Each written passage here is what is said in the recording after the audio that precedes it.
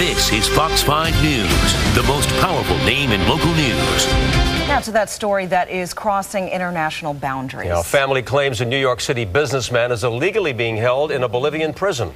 And as Fox 5's Linda Schmidt shows us, they held a rally outside the Bolivian mission to bring attention to his case.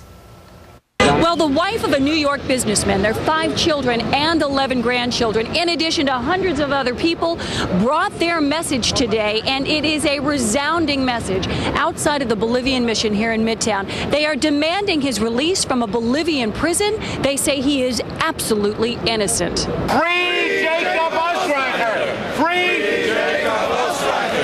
It has been really awful watching him suffer is is unbearable. It is unbearable what has happened to him. Miriam Ostreicher says that her husband was in Bolivia to help boost the agricultural market there when he was suddenly arrested. Officials say that Bolivian authorities have been investigating Ostreicher for money laundering, but in 11 months have not charged him with anything.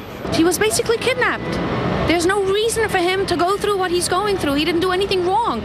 He's an innocent man. New York State Assemblyman Dov Hikind is helping to lead the charge to free Ostreicher. We are addressing ourselves not only to Bolivia today, but we want to know where Secretary of State Clinton is.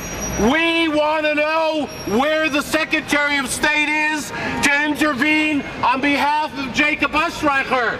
Assemblyman Hikind and the family believe that Secretary of State Hillary Clinton has been missing in action in this case. We need to have much more pressure put on the government, much more pressure put on the Bolivian government, whatever it takes to take an innocent American citizen out of that hellhole. And Miriam Ostreicher also says that her husband is on a hunger strike. He has already lost 40 pounds, and she is not giving up her fight to get him back home. In Midtown, I'm Linda Schmidt, Fox 5 News. And we reached out to the U.S. State Department for comment, but we haven't heard back from them yet.